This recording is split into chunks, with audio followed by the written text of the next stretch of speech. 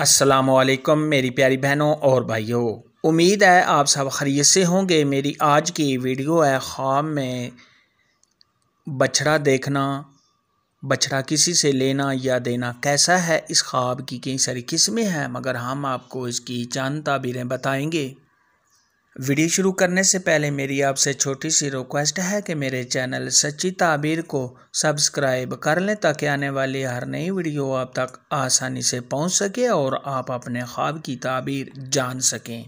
हज़रत सैदना इमाम इबन सरीन रहमतुल्लाह ने इरशाद फरमाया, अगर कोई शख्स ख्वाब के अंदर देखे कि उसको किसी ने बछड़ा दिया है या उसने किसी से बछड़ा लिया है तो ये इस बात की दलील है कि ऐसे शख्स के यहाँ बेटा पैदा होगा।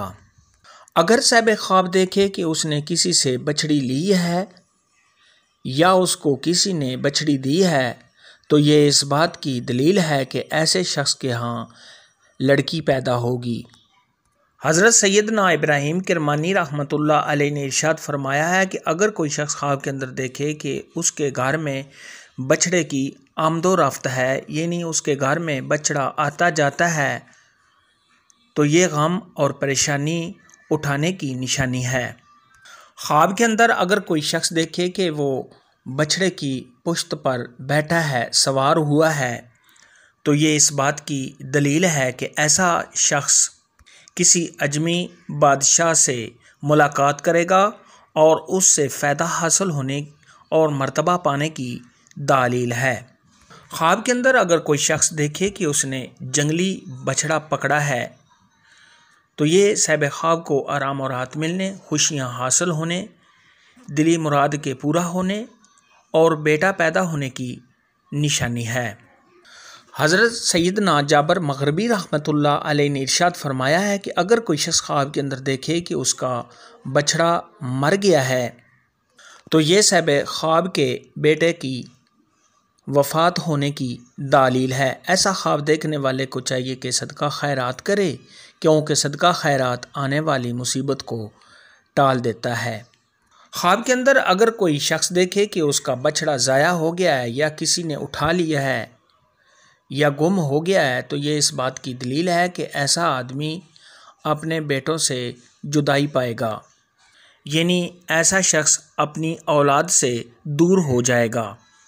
ख्वाब के अंदर अगर कोई शख्स देखे कि उसके पास बछड़ा है और उसने उसका गोश्त खाया है तो ये इस बात की दलील है कि ऐसा आदमी अपने बच्चों की मेरास खाएगा, यानी उनका हक खाएगा।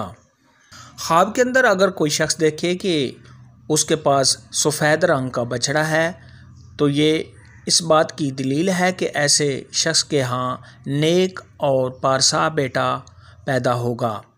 और बाज़ अहल ताबीर ने इर्शाद फरमाया है कि अगर कोई शख्स ख्वाब के अंदर बछड़ा देखे, खूबसूरत बछड़ा देखे, ताकतवर देखे, मज़बूत देखे और अच्छी आदात वाला है तो ये इस बात की दलील है कि जो आदात बछड़े में देखी हैं, ऐसी ही खूबियाँ इसके बेटे में होंगी। और ऐसे शख्स का बेटा तंदुरुस्त, नेक खूबसूरत और बाइज़्ज़त होगा।